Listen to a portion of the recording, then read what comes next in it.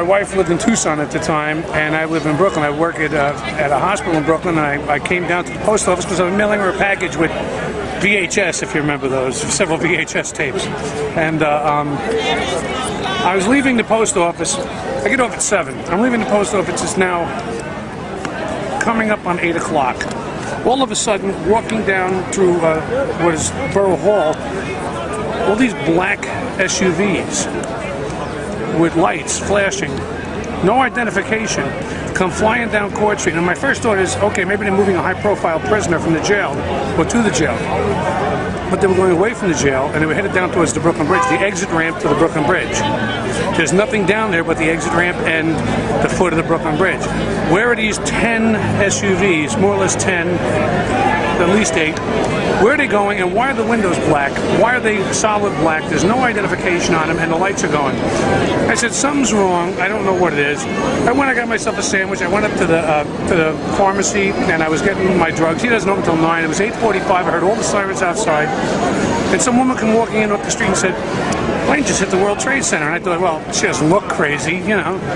But uh, the sirens and the smoke kind of threw me off. So I walked outside and us this big hole in the, in the side of the World Trade Center. And I just stood there looking, and I was talking to one guy in the street. I said, you know, hundreds of people are dying as, as we're standing here, you know?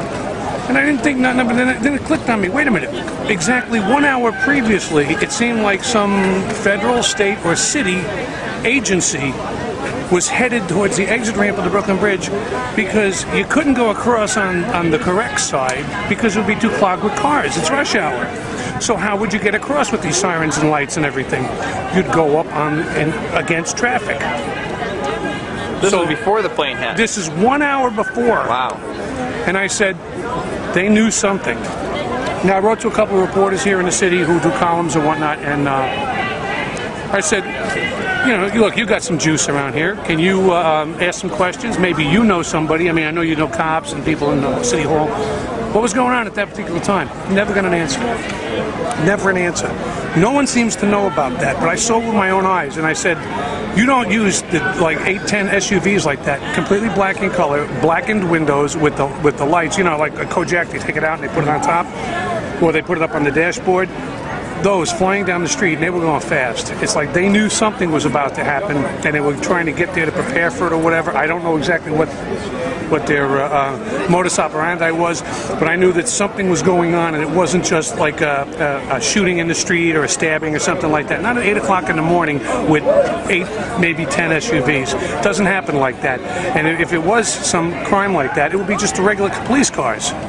It wouldn't have been this, or the the, the emergency uh, um, people, uh, not EMT, the uh, um, emergency service unit, the ESU. That's who it would be, not unmarked cars. This was wrong. Something was wrong about this, and I knew then. And I told her. I went home and I, I heard that the first building had come down. When I got off the bus, I went to uh, uh, to vote.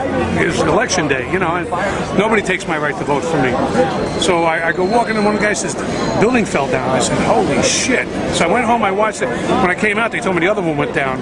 Uh, I went home. I watched it on TV, and I called her immediately. She was sleeping in Tucson three hours earlier, and I said to her, "I said, I'm okay." And she said, "What are you talking about?" I says, "Turn on your TV." And then I told her, I said, "I saw these these SUVs. I don't know what was going on. Uh, something was up. I don't know what it was, uh, but I think they knew about it in advance, and that's that's my little piece of the story. And I, you know, I I wish I could believe like you know the other people and say, hey, what the government said is true, but I know it's not. Something was up. Thank